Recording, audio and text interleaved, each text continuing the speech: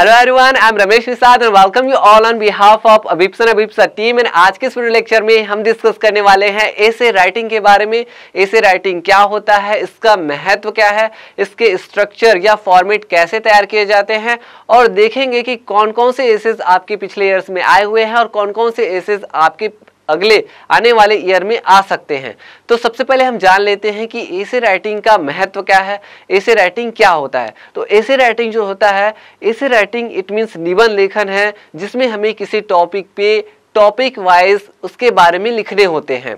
इसका महत्व क्या है कि इसका महत्व ये है कि जब कभी भी हम ऐसे लिखते हैं, इससे क्या चीज़ समझ में आती है कि हमारे पास कितना नॉलेज है, हमें हमारे पास कितनी अच्छी राइटिंग स्किल है, हम कितना ज़्यादा जानते हैं उस टॉपिक के बारे में।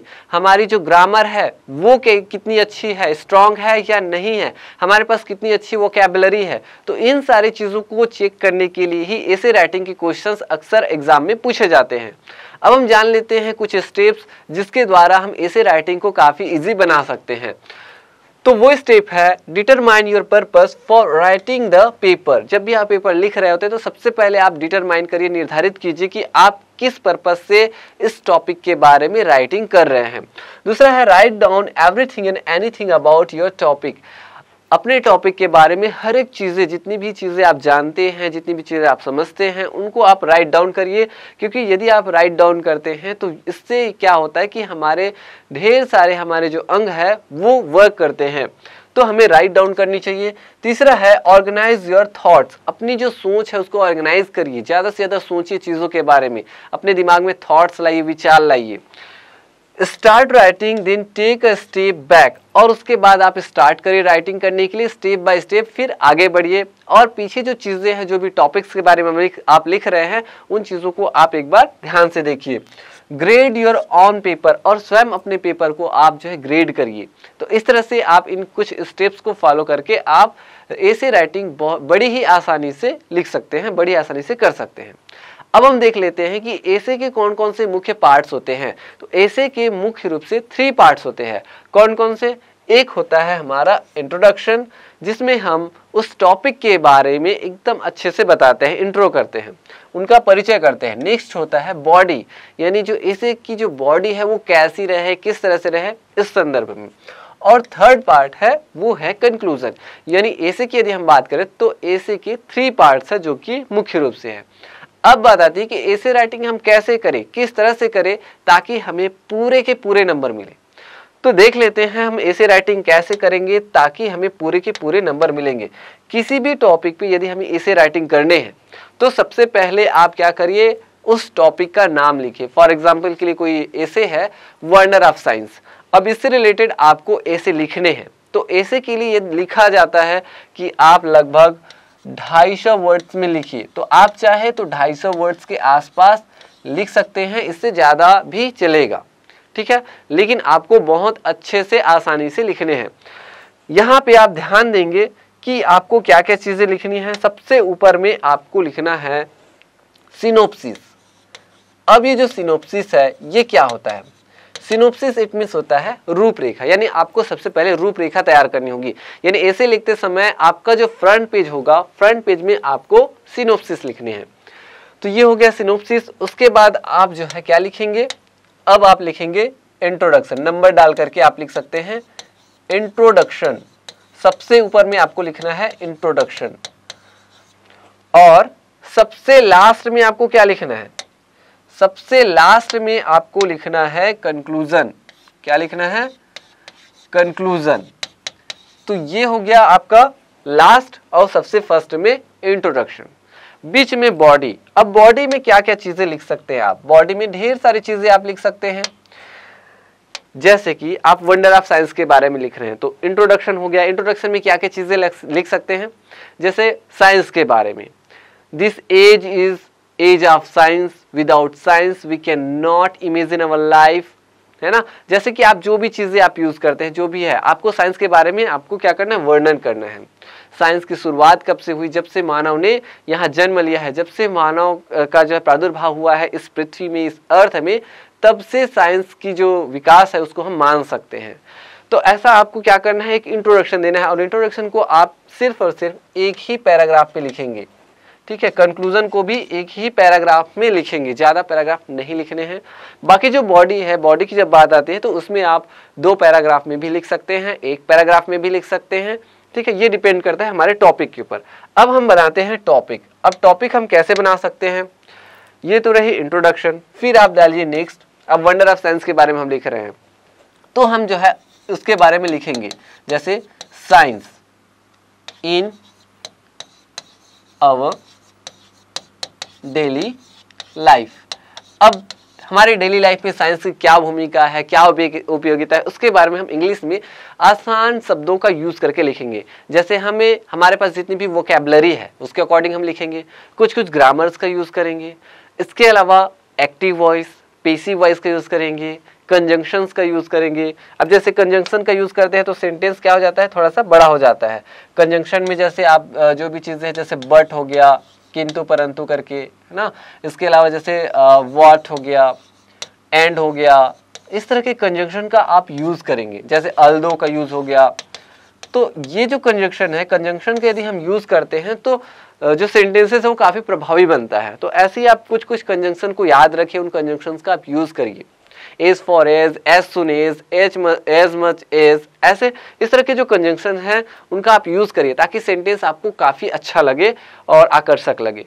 तो कंजंक्शन का यूज़ करिए ग्रामर वोकेबलरी तो इन सारी चीज़ों का यूज़ करके आप जो है इनके बारे में लिखिए कि जैसे साइंस का यूज़ हम डेली लाइफ में कैसे करते हैं, किस तरह से करते हैं, जो भी चीज़ें हम यूज़ करते हैं, जो भी हम पहने हुए हैं, सुबह से लेकर शाम तक जो भी हम करते हैं, जो भी खाते पीते हैं तो किसकी देन है?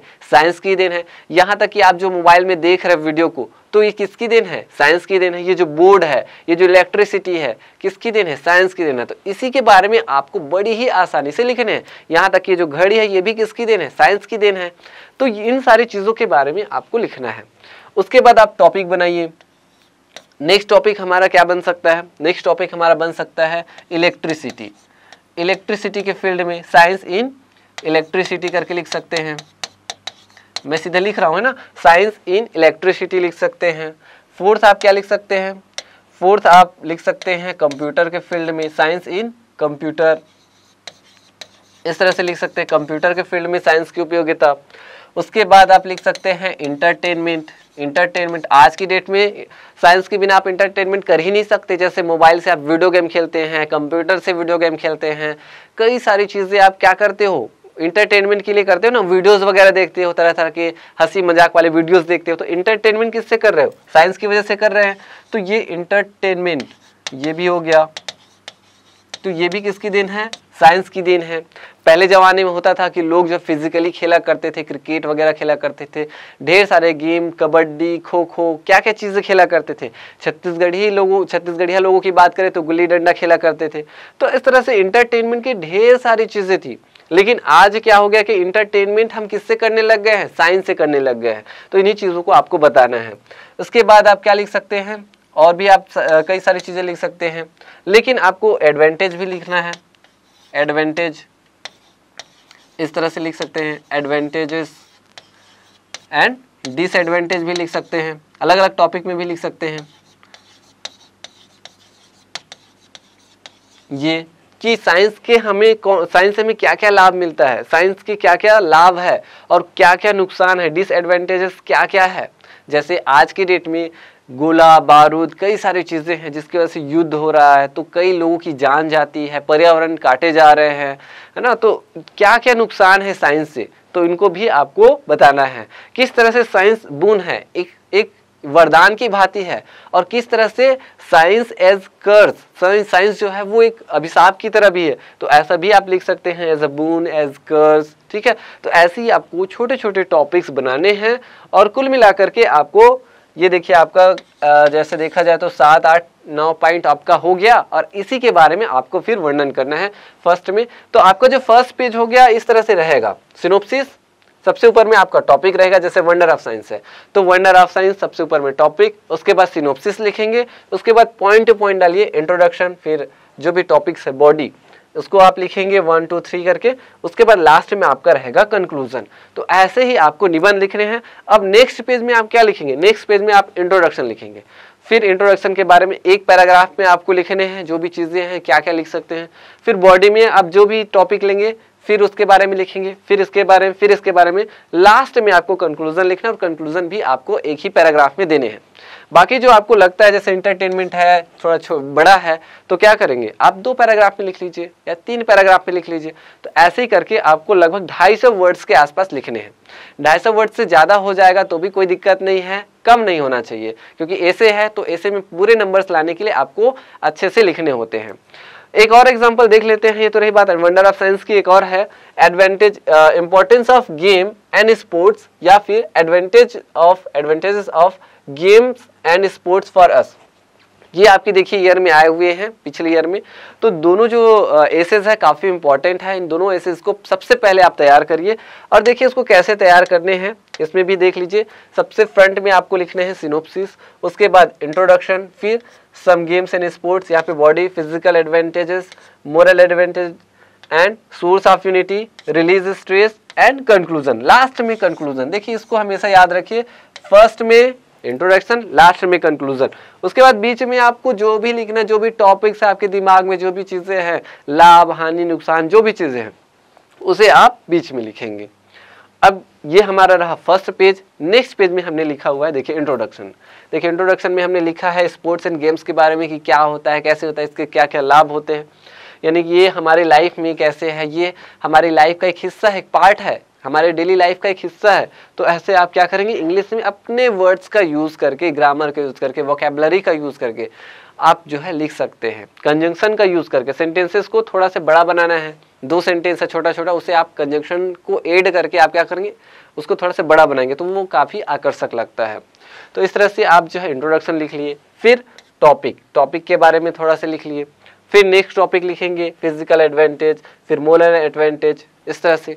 फिर नेक्स्ट लिख लेंगे source of unity release stress इस तरह से क्या क्या फ़ायदे हैं क्या क्या नुकसान है स्ट्रेस कैसे इससे जो है रिलीज़ होता है। इन सारी चीज़ों को आप लिखेंगे और लास्ट में हम लिखेंगे कंक्लूजन जो कि इस तरह से होगा कंक्लूजन और इंट्रोडक्शन लगभग सेम ही होता है इंट्रोडक्शन में आप इंट्रो करते हो और कंक्लूजन में आप निष्कर्ष करते हो निष्कर्ष इट मीन उसके बारे में पूरा सार को आप बताते हो बहुत ही कम शब्दों में games and sports not only make our body strong but also enrich our character. They are the source of world unity. Our government should give them due preference तो इस तरह से आप निष्कर्ष में पूरे की जो टॉपिक है टॉपिक का पूरा सार आप बता देते हो, समझा देते हो। तो ये इस तरह से आपका कंक्लूजन हो गया। तो आई होप कि आप जो है ऐसे राइटिंग कैसे करनी है, आप बहुत ही आसानी से समझ गए हैं। बड़ी आसानी से समझ गए हैं और कौन कौन से एसेस आपके एग्ज़ाम में आते हैं, उसको एक बार और देख लेते हैं। तो दो एसेस हमने देखा हुआ है। फ़र्स्ट देखा हुआ है वंडर ऑफ़ साइंस या फिर इसी को पूछ सकते हैं advantage and disadvantage of science ठीक है अलग अलग तरीके से आ सकता है। तो ये आप तैयार करिए सबसे पहले। उसके बाद आप इम्पोर्टेंस ऑफ़ गेम्स ठीक है गेम्स एंड स्पोर्ट्स वाला, उसके बारे में आप देखिए। वो दूसरे नंबर पे वो है। उसके बाद देख लीजिए आप इंडियन फेस्टिवल के बारे में आ सकता है। माई हॉबी आ सकता है। माई हॉबी ये भी काफ़ी आया हुआ है आपकी ईयर में। तो थर्ड प्रायोरिटी आप दीजिए माई हॉबी को, ठीक है? योर बेस्ट पास टाइम उसके बाद आपको मैंने बता दिया तीन ऐसे जो कि मोस्ट टाइम भी है। फ़र्स्ट आपका वंडर ऑफ़ साइंस उसके बाद स्पोर्ट्स एंड गेम्स वाला, उसके बाद आपकी माई हॉबी उसके बाद अगर आपके पास टाइम है तो आप देख लीजिए इंडियन फेस्टिवल दीपावली को। उसके बाद और कुछ कुछ गेम्स कुछ कुछ चीज़ें हैं, इसके बारे में तो हमने डिस्कस कर लिया है।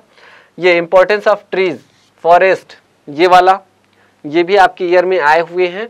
लेकिन सबसे आ, सबसे इम्पोर्टेंट जो तीन चीज़ें हैं उसको आप पहले करिए। इम्पोर्ट ये वाला है environment pollution problem of pollution pollution से रिलेटेड तो इस तरह से आप जो है सबसे पहले तीन जो एसेस है जो ऐसा कि मैंने बताया हुआ है उसको आप बड़ी ही आसानी से करिए तैयार करिए प्रिपेयर करिए। उसके बाद आपके पास टाइम है तो आप इनको भी अच्छे से करिए।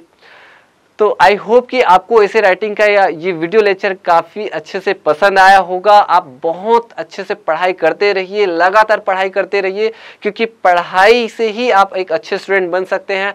जब आप अच्छे नंबर लेकर के आएँगे, तब हमें काफ़ी गर्व महसूस होगा। इसलिए आप पढ़ते रहिए, हँसते रहिए, मुस्कुराते रहिए। मैं मिलूँगा एक इंटरेस्टिंग लेसन के साथ नेक्स्ट वीडियो लेक्चर में। तब तक के लिए धन्यवाद।